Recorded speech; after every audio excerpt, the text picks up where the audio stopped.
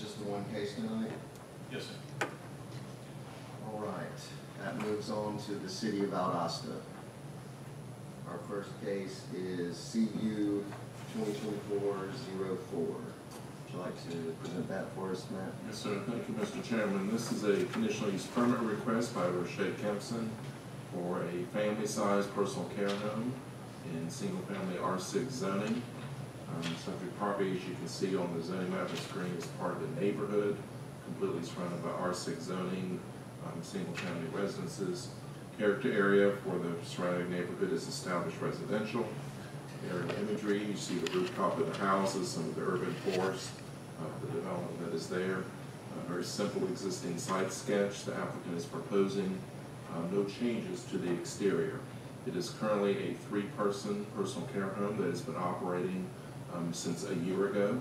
Um, No issues or complaints that we are aware of. Applicant is proposing to expand the capacity of the facility from three to five.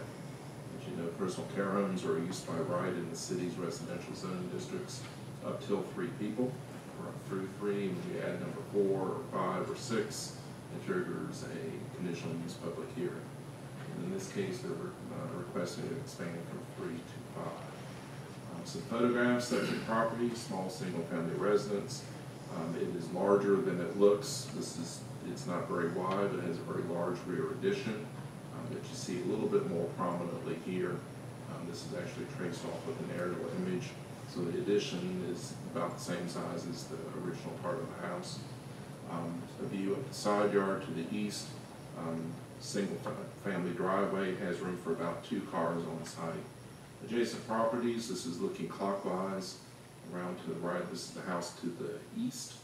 The view down the street with a little view of the houses across the street. And then westward, back up West Magnolia, again, single-family residential neighborhood, and then the single-family homes immediately to the west. Um, We've not reviewed a personal care home in a little while, but traditionally, we don't get much above four unless it's a particularly large residence.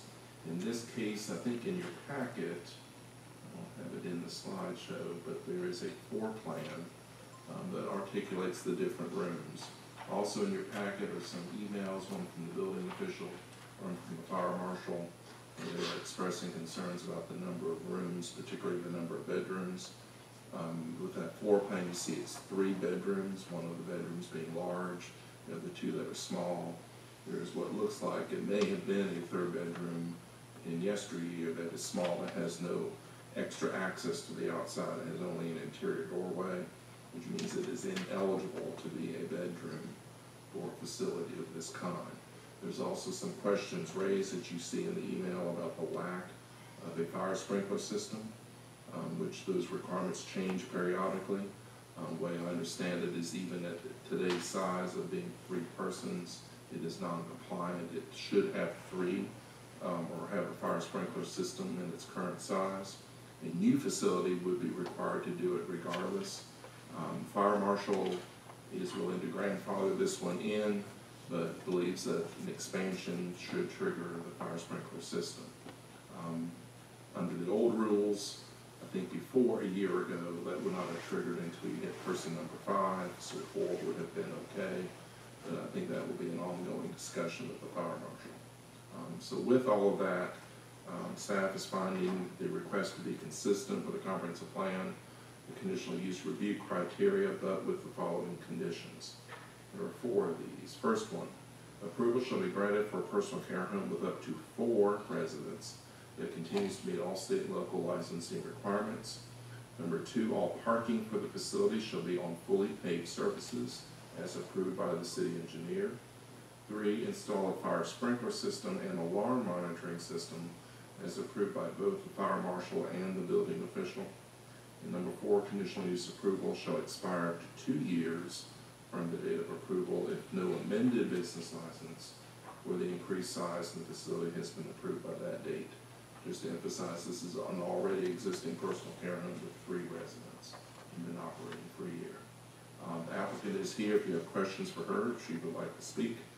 And otherwise, I'll be glad to answer any questions that you may have.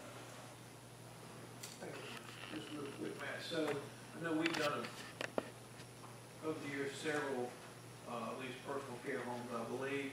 So what is all of a sudden triggering this sprinkler application? I don't know what's behind it, but I know the code requirements keep changing. I think the latest changes were in January, at least that's what the fire marshal told me.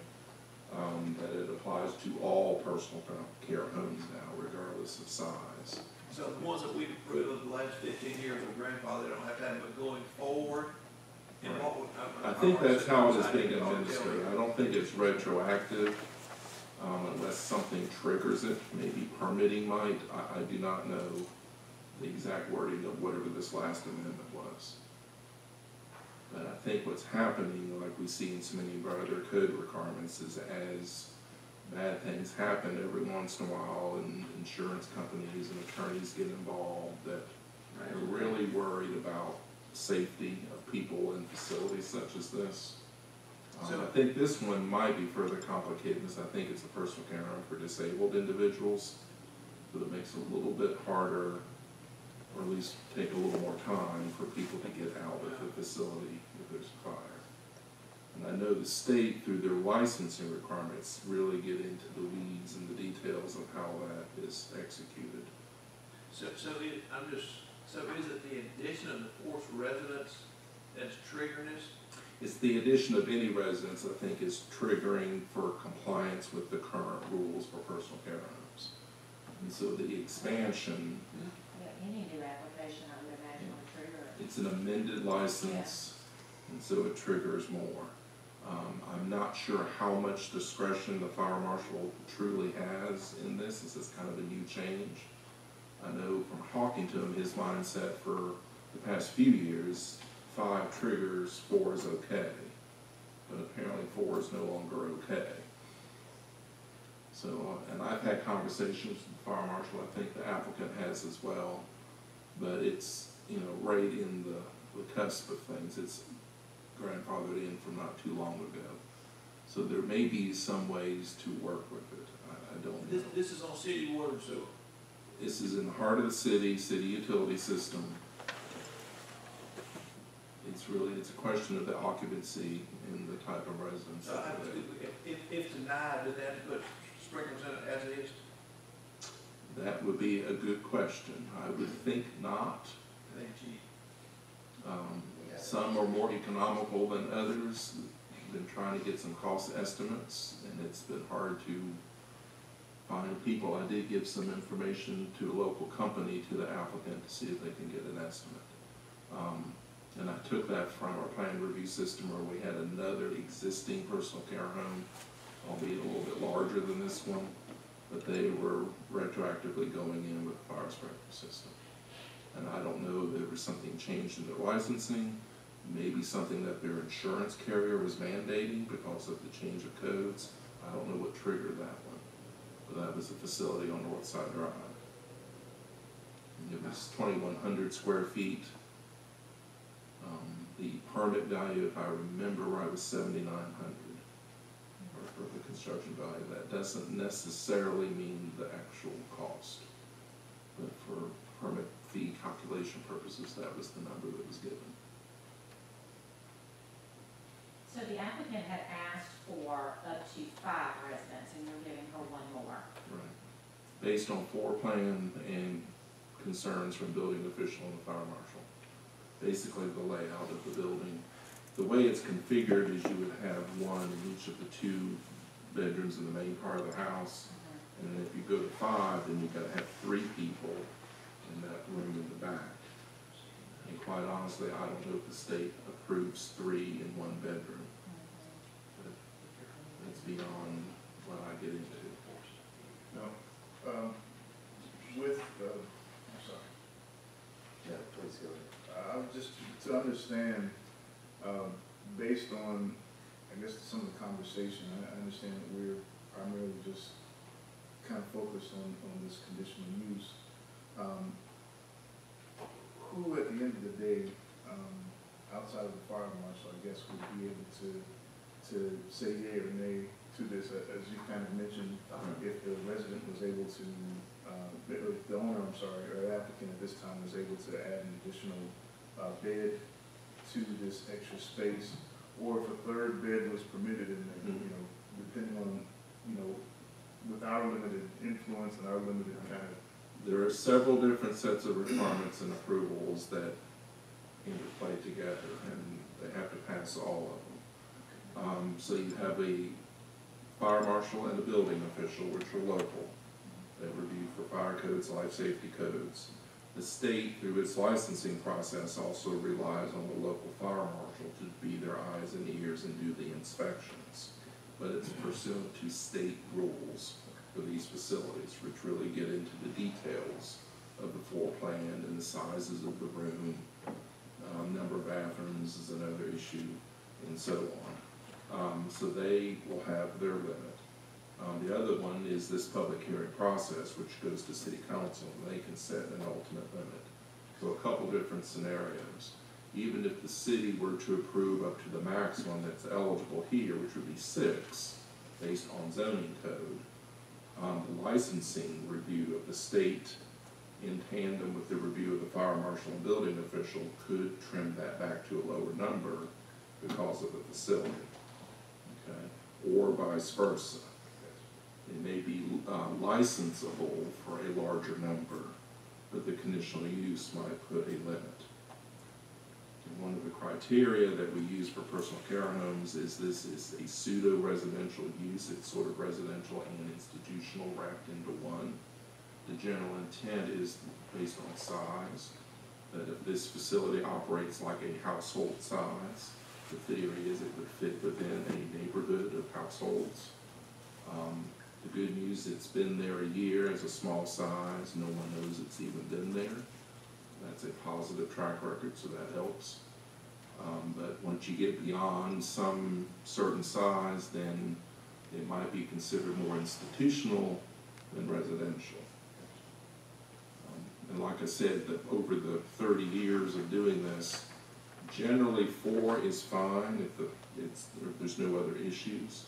Only times the city council has gone beyond that is when it's a particularly large house or large lot. In other words, lots of room, like a five-bedroom house that's three thousand square feet, that kind of thing, which this is not.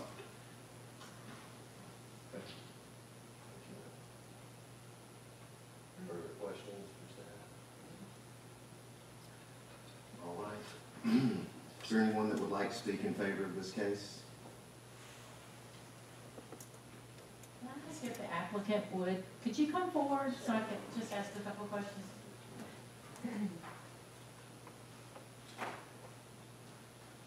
First off, let me say, I appreciate everything you're doing because I kind of work in this space, so I understand the um, dedication and the hard work to running a personal care home, so I appreciate you for that. Um, And I know that your request was for an additional two residents to hook you up to five, and he's conditioning you to four. Are you okay with that? Yes, ma'am. Okay, because I also know that there is lack of space for residents. Um, So what is the state regulations for the number of residents you can put into a bedroom? Um, as long as they have eighty feet square feet between, Uh-huh, you're, adult. okay, But every resident to have eighty feet. Okay. So you would conceivably have room for a fifth resident in that last room? Yes, and then Okay, Um, where are the three residents, uh, no, resident clients, your clients sleeping at? Are they all in separate, in the three different bedrooms? Um, I have two, two of them, and they are in their separate rooms. Uh, you know, if I would, uh, uh, the gender, Female. all females, and they all disabled? Well, they have, I don't say they, hmm, disabled, they have issues of. Challenges. Yes, okay. So it could be physical or mental challenges? right. Okay, So I know at the end of the day, it's, it's, it's all about making a dollar, okay? So, huh? for all of us. For all of us, it is, and I don't mean that sincerely. So if, if with a reduction of four in your upfront cost to having to pay for a sprinkler system, can I pick your brain and see what your thoughts are? Ooh. Well, I got an estimate for it, and I don't know, I'm still thinking about that on sprinkler Okay. system, yes it is. Hmm, just to add, one extra person. Mr. Chair, out of curiosity, kind of in tandem to that, and looking at the, um, the particular layout that you have here from the, the plan, what was your idea? We, you know, we kind of talked in work session a little bit about, you know, where people could fit. And so understanding there's, um, eighty square foot per person, was your, uh, basic understanding at this point in time, because I'm not sure if one of these, uh, well, was your basic intent at this point in time to put a third per, three beds in that one? Oh, and then we, yeah, Just, it was just out, out of curiosity, we're trying to understand how everybody would be positioned, so to speak. So I guess my, my question is, the third recommendation to install a fire sprinkler system, that is our recommendation, or is the fire marshal telling them that that has to be done? That's from the fire marshal. Okay. And you've got his emails in here, and the building official. They're both, So whether she notice that there's goes, been a change in the code from a okay, year so ago. whether we, sh- we- whether we approve for four or five residents, regardless, there has to be an upgrade in the There needs to be an upgrade. I did get informal comment from the fire marshal who understands that this is a grandfathered situation. Mm-hmm. He thinks there might be some alternatives with only four people. Okay, Um, it goes down to the exits and how safe the building is. Or maybe sprinkling part of the building, but not the whole thing. In other words, he's trying to think of some creative way within the code to help the situation. And these are state mandated fire codes. International fire, International. yeah, yeah, definitely statewide. well, I'm just trying to think of some way she has to do it to make it where it's profitable for her, you know, in the end. Hmm. And at, at this time, you're basing it based on your current occupancy, which is two residents, and you're kind of trying to project forward for the additional residents? Is that, mm-hmm. To double the number. of- yeah, like, you know, yeah, Yeah. Okay, okay. She may But I have had two, already set it up for three, since I was already approved for three, okay, but, yeah. she's licensed locally and at the state level to have three. gotcha, gotcha. And this- I thought the current ones were disabled adults, or not necessarily everybody. And I was just going by letter of intent that's in your packet.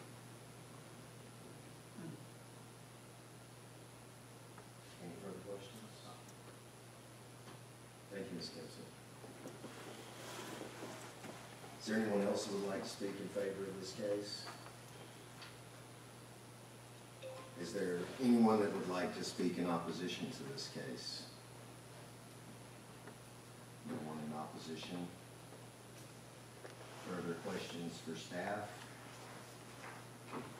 There being none, we'll entertain a motion on this case. Mr. Chairman, Yes, Commissioner uh, regarding this case, CU twenty twenty-four 4 and based on the discussion, um, I would like to make a motion that we recommend approval, including the conditions that set forth by staff and, um, agreed upon by the applicant. Is there a second? Second.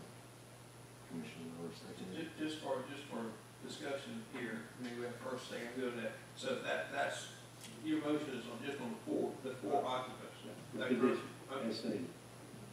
Oh, I said, I'm sorry, I said, and I apologize. I'm good, that's, that's what we clarified Yeah. I read that, I know better one. All in favor? And that's unanimous, Again, good luck to you. Good Thank luck.